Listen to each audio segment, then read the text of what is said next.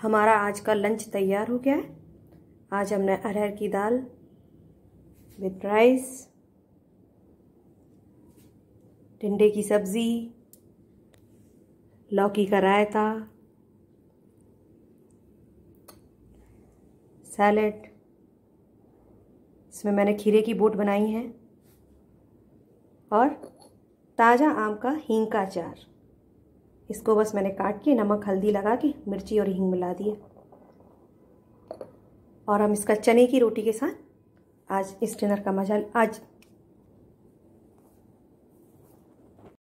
साथ में मैंने चने की रोटियाँ बनाई हैं। उसको हम आज लंच में खाएँगे। ये हमारा आज का लंच है। आज हम लंच में अरहर की दाल बनाने वाले हैं। अरहर की दाल बहुत पौष्टिक होती है और एनीमिया को भी दूर करती है ब्लड प्रेशर कंट्रोल रखती है और और वेट कंट्रोल करने में भी मदद करती है। तो आइए अरहर की दाल बनाते हैं। मैंने दो घंटे पहले दाल भिगो दी थी और ये उसी पानी में मैंने दो तीन बार दाल को धो लिया था और जितने पानी में ये सोख हो गई थी, उतना ही ये पानी है। अब इसमें मैं दो टमाटर जो मैंने रफली चॉप किए हुए थे उसमें डाल रही हूँ और दो हरी मिर्च साबुत और एक गिलास दूध। दूध डालने से दाल ये अच्छी लगती है और जल्दी पचती भी है, ऐसा मैं सोचती हूँ और मैं हमेशा इसी तरीके से बनाती हूँ। अब इसमें हम हल्दी डालेंगे थोड़ी सी और थोड़ा नमक। इसको अब हम ढक्कन लगाकर पका लेंगे।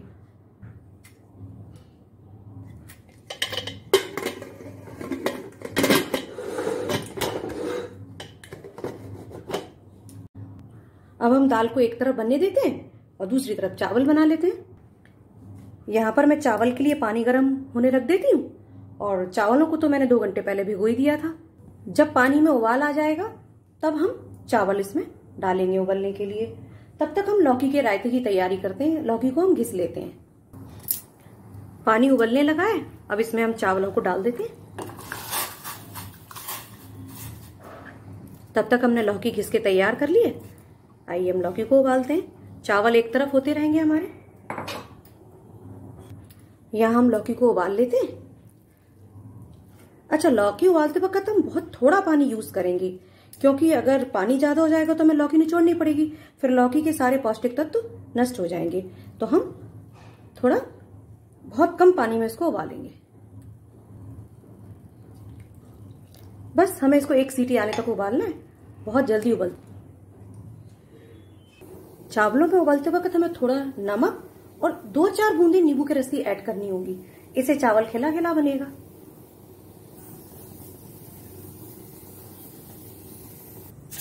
हमारी दाल उबल चुकी है। बस चावल बनने को ही है हमारे। तब तक हम सैलेड की तैयारी करते हैं। हमने एक तरफ़ टिंडे की सब्ज़ी बनाई ही ली थी। हमारे चावल हो चुके हैं। अब हमें इनको छानना होगा।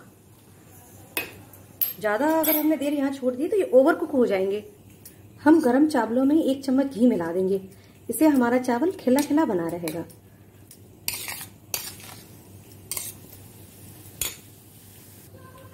हमारी दाल उबल चुकी है। ये मैंने एक सीटी भी नहीं आने दी, उससे पहले ही मैंने इसको बंद कर दिया था और बस अपने आप में ये स्टीम होती रही। ये दूध डलने के कारण ऐसी लग रही है, अभी बस हम इसको एक सा कर लेते हैं।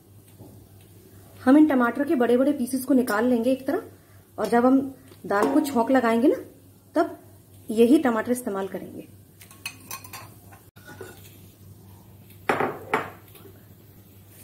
दाल की कंसिस्टेंसी चेक करते हैं। दाल की कंसिस्टेंसी ठीक है? इसको हम एक तरफ़ उबलने और रख देते हैं, ताकि ये अच्छे से घुट मिट जाए। अभी ये घुटी मिठी नहीं है। मैंने यहाँ टमाटरों को अच्छा सा दबा के मैश कर लिया है। आप चाहें तो ग्राइंड कर सकते हैं। हमें अब दाल के लिए छौक तैयार करना है। उसके लिए हम सबसे पहले घी लेते हैं। आप अपनी इच्छा अनुसार जितना भी घी लेना चाहें ले सकते हैं। मैं यहाँ तीन चम्मच ले रही हूँ। हम थोड़ी सी हींग, जीरा जीरा का हम चटकने का इंतज़ार करेंगे।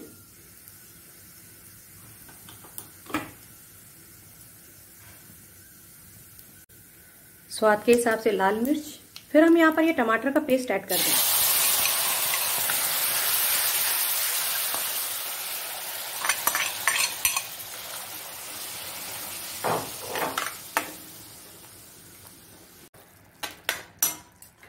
यहाँ पर हम हल्दी हमने उबलने में डाली थी, लेकिन थोड़ी सी डाल देते हैं।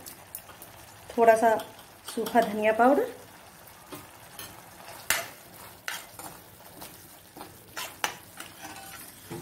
यहाँ पर अगर आपको गरम मसाला अगर आप खाते हो तो ऐड कर सकते हैं। मैं दाल को बहुत तीखा नहीं बना रही हूँ। यहीं पर मैंने थोड़ा सा हरा धनिया ऐड कर दिया।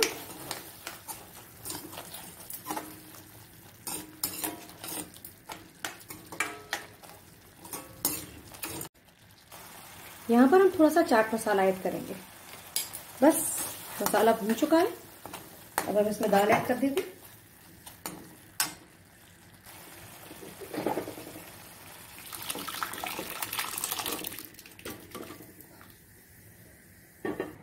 हम दाल को बस दो चार उबाल आने तक ही पकाएँगे, क्योंकि हम पहले भी दाल को उबाल चुके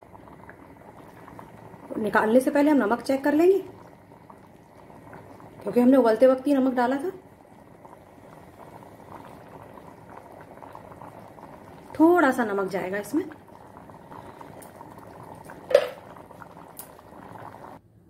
लौकी उबल चुकी है, इसको हम ठंडा करके फिर इसका रायता बनाएँगे। अच्छा इसके पानी को हम निकालेंगे नहीं, दही में इसी तरह डालेंगे। आज हम खीरे की बोट बनाते हैं। इसके लिए हम खीरे को घिस लेंगे दोनों तरफ़ से।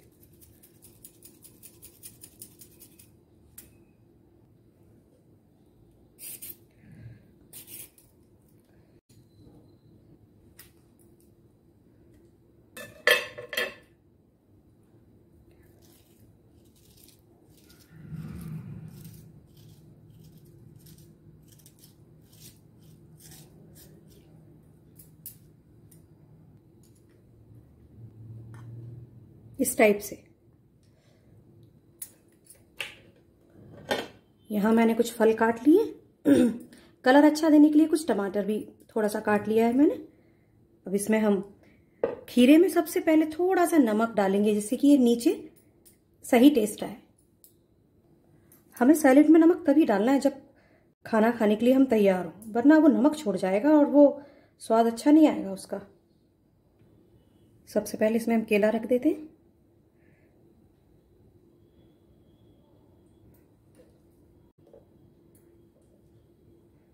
आप अपने चॉइस के हिसाब से कोई भी फल रख सकते हैं। मेरे पास तो जो अवेलेबल है, मैं उनको ही कर रही हूँ। ग्रीन में ग्रीन अंगूर नहीं दिखेंगे। हमें सारे ऐसे कंट्रास्ट फल ले लें कि जो अच्छे लगें देखने में। बच्चे भी खाने को आकर्षित होंगे। थोड़ा खरबूज। इस टाइम अंगूर, खरबूज, तरबूज, पपीता, काफ़ी आ रहा है, जो भी अवेलेबल हो घर में।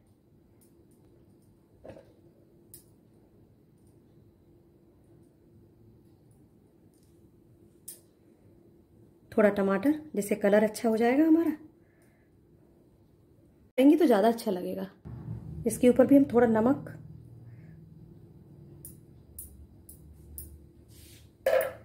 थोड़ी लाल मिर्च। थोड़ा तीखा टेस्ट देने के लिए। हमारा सैलेड तैयार है। रंग बिरंगा। हमने दही को फेंट लिया है। अब हम इसमें लौकी मिलाएँगे और उसमें मसाले और हींग जीरे का छौंक लगाएँगे। यहाँ पर एक चम्मच घी ले लेंगे इसमें। थोड़ा जीरा। परोसते वक्त हम रायते में नमक और काला नमक मिलाएँगे, ताकि दही खट्टा ना हो। साथ में मैंने चने की रोटियाँ बनाई हैं। उसको हम आज लंच में खाएँगे। ये हमारा आज का लंच है।